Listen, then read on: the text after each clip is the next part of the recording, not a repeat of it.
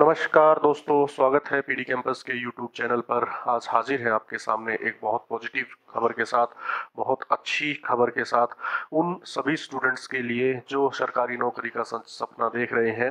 खास तौर से हरियाणा में पुलिस में लगने का सपना देख रहे हैं।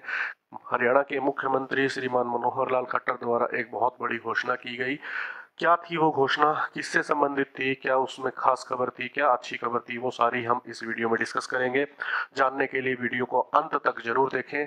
पूरी जानकारी के लिए वीडियो को लास्ट तक देखना सही रहेगा आपके लिए, ताकि आप पूर्ण जानकारी प्राप्त कर सकें। चलिए, शुरू करते हैं आज की वीडियो को। क्या खबर थी उस पर ध्यान देते हैं।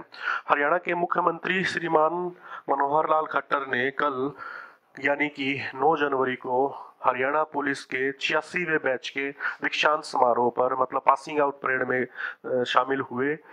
उसी पासिंग आउट परेड के दौरान उन्होंने एक बहुत बड़ी घोषणा की और वो घोषणा ये रही कि हर साल पाँच हज़ार पुलिस कर्मियों की भर्ती की जाएगी। मतलब हरियाणा पुलिस में हर साल अब निश्चित वैकेंसी निकलेंगी। इसके लिए एचएसएससी को एक प्रोसीजर और गाइडलाइंस जारी करने के लिए कह दिया गया है, जैसा कि हरियाणा के मुख्यमंत्री ने बताया।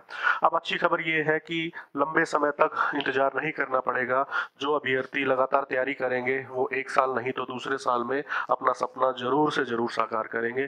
जैसा कि मनोहर लाल खट्टर जी ने बताया कि अभी अभी पाँच हज़ार साठ पुलिस कर्मचारियों की पासिंग आउट परेड थी। ये दूसरा बैच था, इस सरकार का जो पास आउट हुआ। और तीसरे बैच की वैकेंसी अनाउंस हो चुकी है। ये भी शेड्यूल में है कि मार्च के महीने में पेपर होगा, जो पिछली भर्ती है, उसका पेपर भी मार्च 2020 में होने की पूरी पूरी संभावना है।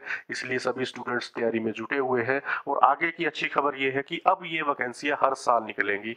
आज के सभी न्यूज़पेपर्स में ये खबर छाई हुई थी, चाहे इंग्लिश का न्यूज़पेपर न्यूज़पेपर हो, चाहे हिंदी का न्यूज़पेपर हो, सभी में इसकी संपूर्ण जानकारियाँ दी गई थी। तो अच्छी खबर है प्यारे दोस्तों, अब हमें लंबे समय तक वैकेंसियों का इंतज़ार नहीं करना पड़ेगा। हर साल भर्ती आएगी ही आएगी। चलिए, खट्टर साहब का जो बयान था, वो मैं आपको दिखा देता हूँ, ताकि आपको पूरी जानकारी जो है, वो विजुअल में दिखे।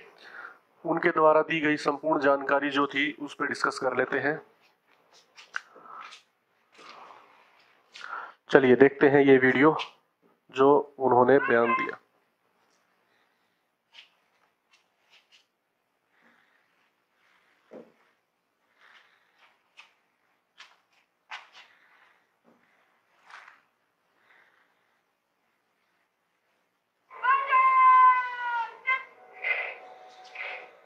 ये पासिंग आउट परेड रही। उसी दौरान खट्टर साहब वहाँ मौजूद थे।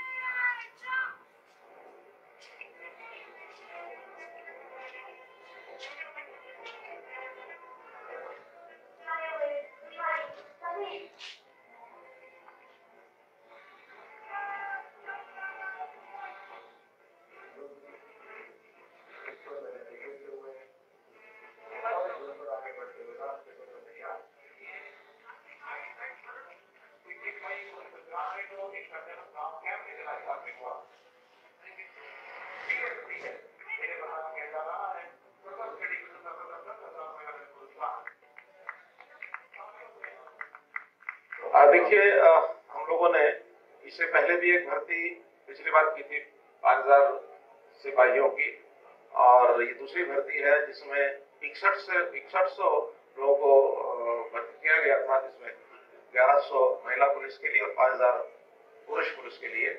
आज जिनमें से पाँच हज़ार लोगों को पासिंग आउट का तीन स्थानों के ऊपर कार्यक्रम हुआ है, और 600 लोग हैं जिनकी ट्रेनिंग लेट चल रही है तो उनका आगे कार्यक्रम होगा। इस क्रम को हम लगातार बनाए रखेंगे। हमने विचार किया है कि हर वर्ष पाँच हज़ार लोगों की नई वैकेंसीज क्योंकि वैकेंसीज पर्याप्त है हमारे यहाँ पुलिस में। पाँच हज़ार लोगों की नई भर्ती एक रेगुलर कार्यक्रम के टाइम टेबल बना करके हर साल करेंगे।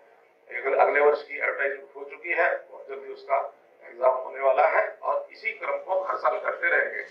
ताकि आज के समय में 1500 से लेकर 2000 लोग रिटायर हो जाते हैं और एक तीन हज़ार, साढ़े तीन हज़ार लोग हर वर्ष नए बढ़ते रहे, ताकि हमारी जो आने वाले कुछ समय में और संख्या, हालाँकि इस समय भी कम नहीं है, फिर भी समय के हिसाब से जैसे जैसे आवश्यकता है, वैसे वैसे उसको बढ़ा रहे हैं।